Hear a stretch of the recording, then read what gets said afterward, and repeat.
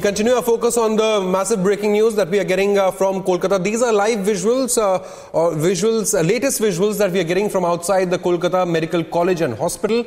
Uh, you can see scores of people have lined up on the streets uh, after a massive fire that broke out at the Kolkata College, Medical College and uh, Hospital. What we are getting to know is that 250 people, including patients, have been evacuated from the medical college already. 10 fire tenders have been rushed to the spot and are at the uh, scene to combat the fire.